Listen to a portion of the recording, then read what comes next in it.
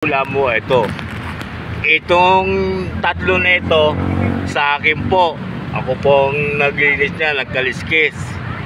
At ito naman oy Lapit na maluto ang ulam.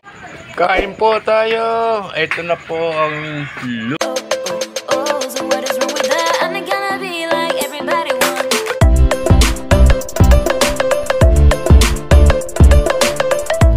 hapon po. Andito po ako. Oh, tao si Man Romy. Ito, si Man Romy. Ah, naglilinis po kami ng uulam mo. Ito. Itong tatlo na ito sa akin po. Ako pong naglilinis niya, nagkaliskis. At ito naman no, yung kay Man Romy, yan, ginagawa po tayong. Yan po, mga yan, oh. Yan po si Man Romy. At ito, ito naman po yung mga yuwi ko yan po, mga flap-flap po yan oh. Yan po, kinaliskisan ko lang oh. Ato, tsaka ako humawak ng bichu. Sandali po. Ayan po. Kaya ito, ganito, ganito kami. Nakakaraos po kami. Lalo na si Maromi. Ito po ang ano niya, oh, condo niya ho. Ito, ito ang condominium mo ni Maromi. Basta po ito yung sa akin yan. Itong tatlo na ito. Ah, sige po.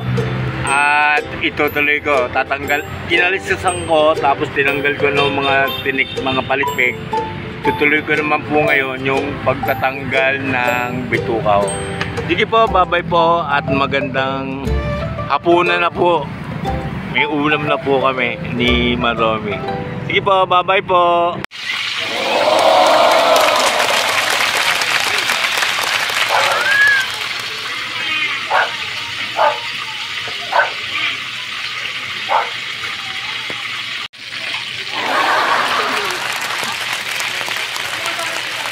Ito na po.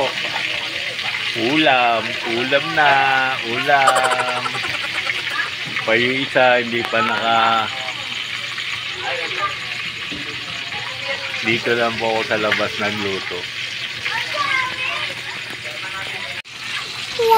Lapit na maluto ang ulam.